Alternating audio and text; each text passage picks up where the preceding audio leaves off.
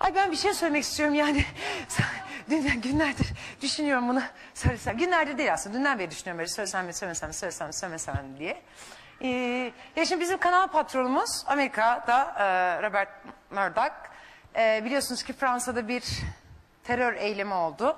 Orada 17 kişi hayatını kaybetti. Dün de e, çok fazla sayıda katılımla insanlar birlik, beraberlik, kardeşlik e, bir insanlık yürüyüşü yaptılar. Şahane bir mesajdı.